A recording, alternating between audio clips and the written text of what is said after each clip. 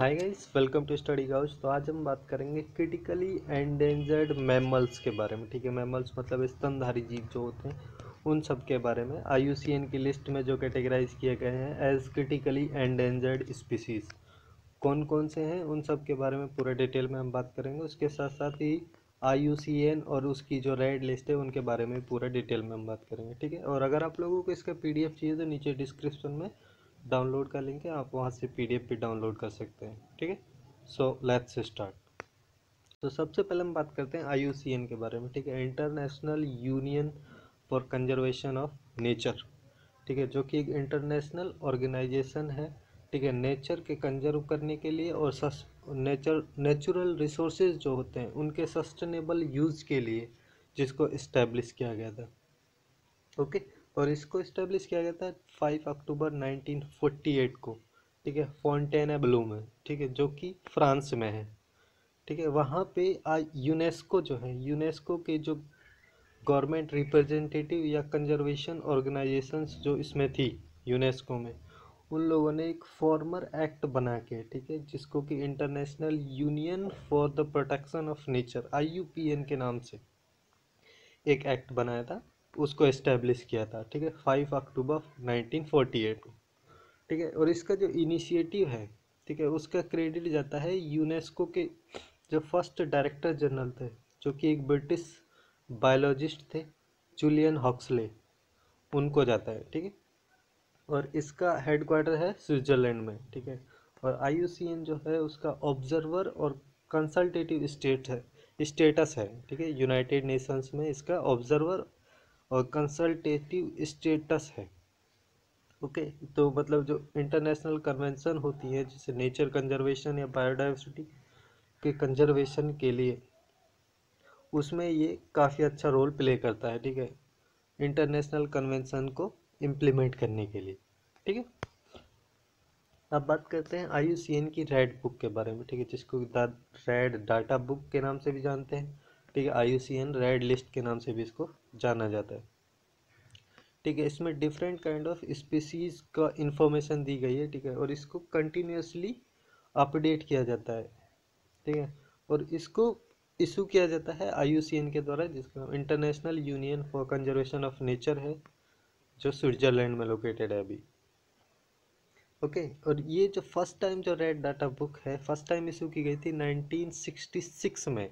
आई का जो special survival commission है उसके द्वारा। ठीक है? और इसमें जो पिंक पेज है, ठीक है? इसमें पिंक पेज होता है, ठीक है?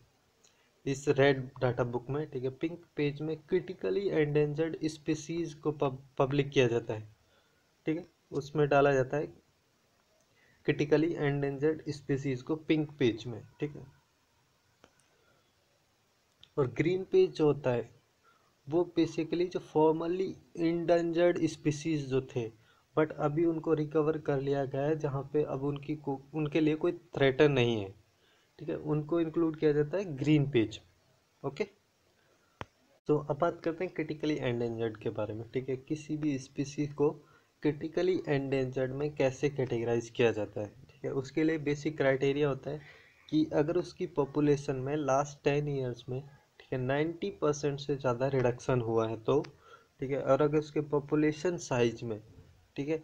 पचास से भी कम मैच्योर इंडिविजुअल है तो ठीक है? और अगर उसकी पॉसिबिलिटी है वाइल्ड में उसके एक्सटिंट होने की, ठीक है? पचास परसेंट से कम अगले दस साल में तो भी उसको क्रिटिकली एंडेंजर्ड में कैटेगराइज कर दिया जाएगा। इन तीनों कैटेग क्राइटेरिया को मैच करने के बाद किसी भी स्पीसीज़ को क्रिटिकली एंडेंजर्ड स्पीसी की लिस्ट में कैटेगराइज कर दिया जाता है, ठीक है? जिसको, जो कि पिंक पेज में होती है, ठीक है?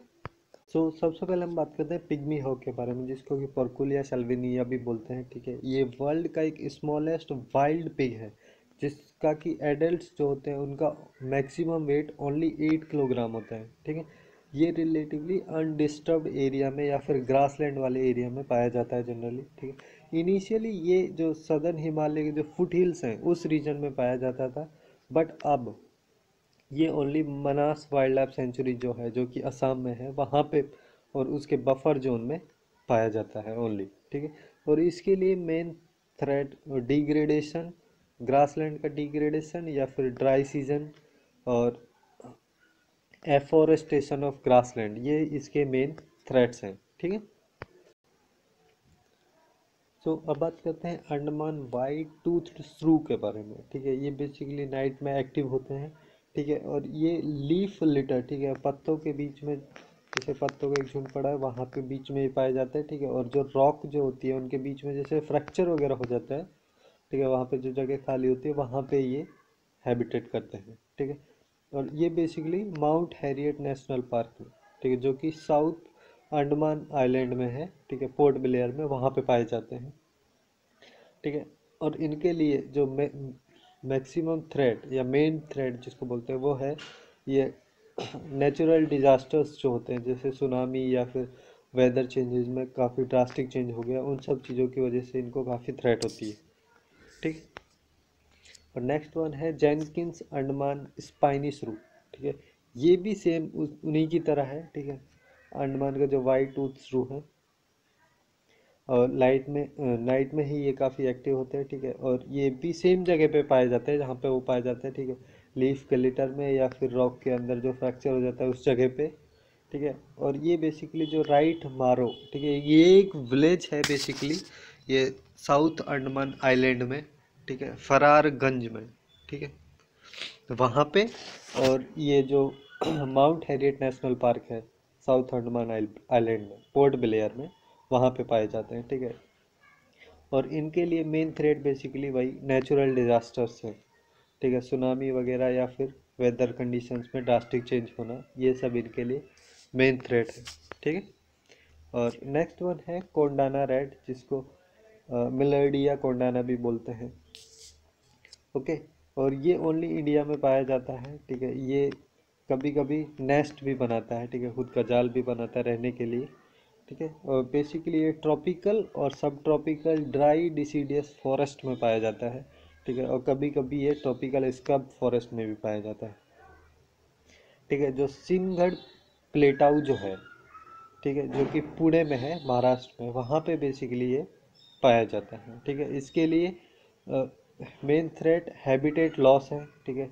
ये ट्रॉपिकल सब ट्रॉपिकल ड्राई डिसीजस फॉरेस्ट जो होता है, इनमें जब लॉस हो जाता है तो उस, वो चीज़ इसके लिए काफ़ी ज़्यादा थ्रेट रखती है, ठीक है? और टूरिज़्म का डिस्टर्बेंस वगैरह, इन सब चीज़ों से इसको काफ़ी थ्रेट पाई जाती है, ठीक है? कौंडाना रेट को, ठीक है? नेक्स्ट वन है द लार्ज रॉक रेट ठीक है? जिसको कि एलवीरा रेड भी बोलते हैं, ठीक है? ये एक मीडियम साइज़ का नॉक्टूरल है नॉक्टूरल ठीक है? जो कि इंडिया में एंडेमिक है, ठीक है? और ये basically tropical dry deciduous shrub land forest में और रॉकी एरियाज़ में, जैसे रॉक के अंदर जो खाली स्पेस होता है फ्रैक्चर होने की वजह से वहाँ पे पाया जाता है, ठीक है? और जो तमिलनाडु के जो ईस्टर्न घाट है, वहाँ पे बेसिकली ये इंडिया में पाया जाता है। और वहीं तक ही ये लिमिटेड है, ठीक है? और फॉरेस्ट का कन्वर्जन या फिर फ्यूल वुड के लिए जो फॉरेस्ट वगैरह को काट दिया जाता है, उन सब चीज़ों से इसको काफ़ी ज़्यादा थ्रेट है, ठीक है? और नेक्स्ट वन है नमदपा फ्लाइंग स्क्वायरल ठीक है? जो कि एक यूनिक है, इसके जीन्स के हिसाब से अगर बात करें तो इंडिया में पाई जाती है और इंडिया के भी नमदपा नेशनल पार्क या फिर नमदपा वाइल्ड लाइफ सेंचुरी जिसको बोलते हैं, जो कि अरुणाचल प्रदेश में है, वहाँ पे पाई जाती है। ठीक है? बेसिकली एक ट्रॉपिकल फॉरेस्ट में पाई जाती है। ठीक है? और ये फ़ूड के लिए इनको हंट किया जाता है। ये इनकी मेन थ्रेड है। ठीक है? और नेक्स्ट वन है द मालाबार किवेट। ओके? ये वर्ल्ड का रेयरेस्ट एनिमल है। कंसिडर किया जाता है इसको। ठीक है? जो कि फ़र्स्ट रिपोर्ट किया गया था ट्रवंकोर में, ठीक है, जो कि केरला में है, ठीक है, अभी एंडेमिक है इंडिया में, ठीक है, और ये बेसिकली वुडेड प्लेन्स में या फिर हिल स्लोप जो होता है, ठीक है एवरग्रीन फॉरेस्ट रेन फॉरेस्ट जो होता है एवरग्रीन वहाँ के जो हिल स्लोप वाले रीजन होते हैं, उस रीजन में ये पाया जाता है, ठीक है, और बेसिकली ये इंडिया में वेस्टर्न घाट्स में डिस्ट्रीब्यूटेड है, ठीक है, और इनके लिए मेन थ्रेट डिफॉरेस्टेशन या फिर कमर्शियल प्लांटेशन है, ठीक है। और नेक्स्ट वन है सुमंत्रा राइनोसोस ठीक है, ये वर्ल्ड का smallest and most dangerous species है out of five rhinoceros species ठीक है? और अभी ये इंडिया में रीजनली एक्सटिंट है। ठीक है? और बेसिकली ये पहले जब इनिशियली ये पाया जाता था तो जो हिमालय जो है, उसके फुट हिल्स में ये पाया जाता था और और नॉर्थ ईस्टर्न इंडिया में भी कुछ पाए जाते थे ये, ठीक है? और इसके अलावा जो दूसरा स्पीसीज है जावा डायनासोर्स ठीक है? वो भी इंडिया में एक्सटिंक्ट है उसका कुछ स्मॉल नंबर की जो पॉपुलेशन है, ठीक है? वो जावा और वियतनाम में सरवाइव करते हैं, ठीक है? और नेक्स्ट वन है कश्मीर स्टैग या फिर जिसको हंगुल बोलते हैं, ठीक है? ये बेसिकली जो रेड डियर जो होती है, ठीक है? उनका ही एक सब स्पीसीज है, ठीक है? और ये बेसिकली जो डैन रिवराइन फॉरेस्ट या फिर हाई वैली ठीक है, और जो कश्मीर वैली के जो माउंटेन्स रीजन है या फिर हिमाचल प्रदेश का नदर्न चंबा जो है, उस जगह पे ये पाए जाते हैं, ठीक है। और ये जम्मू कश्मीर का स्टेट एनिमल भी है, ठीक है। और हैबिटेंट डिस्ट्रक्शन या फिर over grazing domestic live stock के द्वारा, और पोचिंग पोचिंग इसका मेन थ्रेट का रीजन ठीक है? सो इतने ही थे जो क्रिटिकली एंडेंजर्ड मेमल थे, ठीक है? सो आज के लिए बस इतना ही। Hope you guys find it useful and if you find it useful then to like share and subscribe to study couch. Thanks for watching and have a good day.